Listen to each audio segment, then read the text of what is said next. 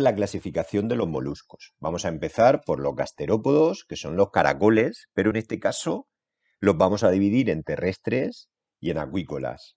Los gasterópodos terrestres, como el caracol, pues tiene una cabeza muy desarrollada que posee cuatro tentáculos. En los extremos de los tentáculos más largos tiene los ojos y en los cortos está relacionado sobre todo con el sentido del tacto. Poseen una sola concha, aunque a veces pueden no tenerla, lo vamos a ver en las babosas.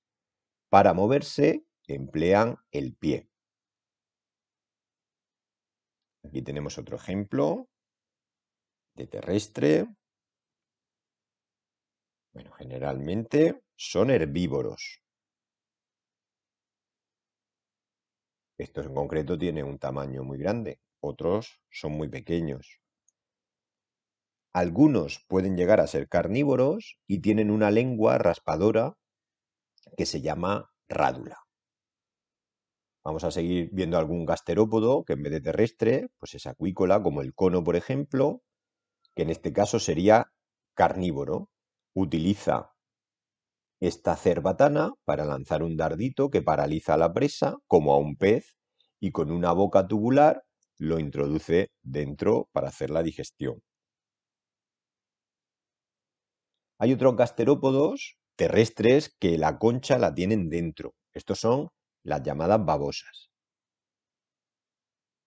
Y hay otros gasterópodos que son marinos y no tienen concha ni por dentro ni por fuera. Fijaros que la diferencia, por ejemplo, con los otros es el tamaño, es pequeñísimo. Las babosas marinas generalmente veréis que llevan unas plumitas que son las branquias para atrapar el oxígeno disuelto en el agua.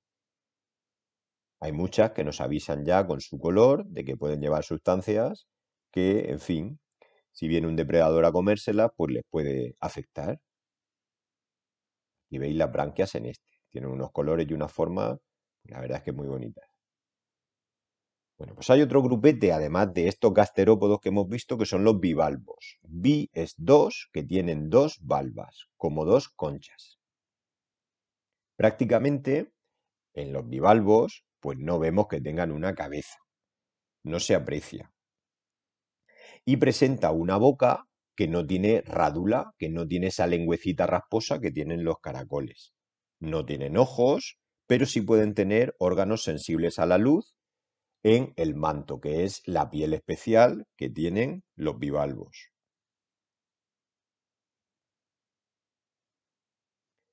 Este pie, que tiene forma de hacha, lo contraen y lo estiran para desplazarse. Además, les puede ayudar incluso a enterrarse. Bueno, otras pueden desplazarse por medio de la propulsión a chorro, mediante una salida de agua por el sifón. Son animales filtradores. Cogen el agua y se quedan con las sustancias que están disueltas en el agua. Bueno, y por último tenemos otro grupete que son los cefalópodos, como el pulpo, el calamar y la sepia. Estos animales tienen una cabeza muy desarrollada. En ella se encuentra el cerebro y los ojos, que son los más complejos de todos los animales invertebrados. Aquí veis una sepia con sus tentáculos, sus ojos desarrollados y que presenta una estructura que es el sifón por donde sale el agua propulsión.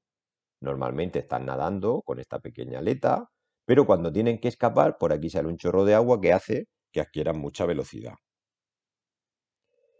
Si antes hemos visto que los caracoles tenían un pie, Aquí el pie es una corona de tentáculos que se sitúa en la parte anterior de la cabeza.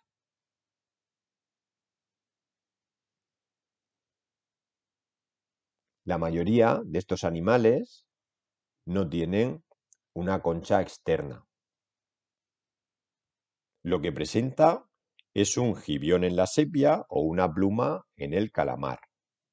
Bueno, Aquí es muy grande o también la utilizamos muchos cefalópodos para la alimentación.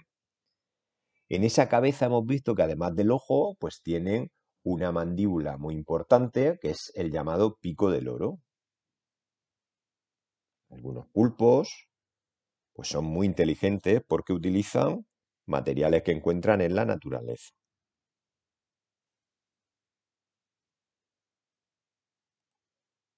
Otros presentan un veneno muy potente. Incluso el pulpo de anillos azules está dentro de los 10 animales más venenosos del mundo. Hemos dicho que normalmente tienen una concha interna, pero hay algunos que presentan una concha externa como el Nautilus, un animal que lleva muchísimos años en la Tierra. Además, algunos de ellos pues tienen un tamaño bestial, como las leyendas del kraken. Actualmente los calamares más grandes pueden llegar a tener entre 18 o 20 metros, aunque es raro encontrarlos. Lo del kraken lo dejamos solo para las leyendas. Aquí tenéis una reproducción de lo que sería un calamar gigante. Realmente la mitad sería el calamar y la otra mitad pues es considerando estos tentáculos tan largos que les sirve, por ejemplo, para atrapar las presas. Son tentáculos retráctiles que los puede meter en unas cavidades que tienen debajo de los ojos y sacarlos pues cuando van a cazar o en el momento de la reproducción. Aquí tenéis algunos casos reales, como este, cogido en Japón, en Marruecos o este en Galicia. Normalmente no suben a la superficie, pero si suben se les puede atraer y se les puede capturar. Bueno, aquí estáis viendo, aunque este es un pulpo, estáis viendo el, el sifón, la tinta de un calamar, cómo emplea unas estructuras para equilibrarse, que son esas orejas.